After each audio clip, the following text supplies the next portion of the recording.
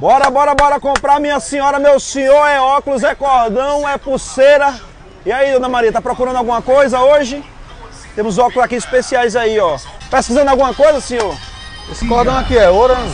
Rapaz, esse cordão não é ouro, eu sou muito sincero com meus clientes. Ele é feito de moeda antiga. E qual é a vantagem de um bicho desse? A vantagem desse cordão é porque ele nunca vai ficar preto e a gente dá a garantia vitalícia. E qual é o valor de um bichinho desse, hein? A 150 reais porque é final de ano, eu tô querendo queimar o estoque. Passa um precinho melhor, hein? 130 pra tu, bora. Vou pagar os 100. Tá fechado, viu? Que é pra não perder o cliente. Essa Copa do Mundo, coisa de doido, né? O Brasil saiu pra Croácia, afinal França e Argentina, velho.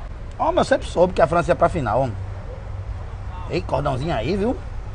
Pressão. Isso aqui eu peguei numa promoção, comprei no shopping. Black Friday agora, o cara tem que aproveitar as promoções do tempo. Comprei lá, ouro. Mas eu sempre fui doido pra um cordãozinho de ouro, viu? Se tu quiser, eu passo pra tu o preço que eu peguei. Um cordão desse é 3,500, mas eu paguei 2,200. Ainda dividi em quatro vezes no cartão. Ficou 4 de 550. Tu me passou só esses valores do cartão mesmo. Homem, deixa de brincadeira, homem. Você vai fazer isso por mim mesmo, homem. A gente é amigo. Você não é amigo, não. Você é um irmão. Amizade é tudo,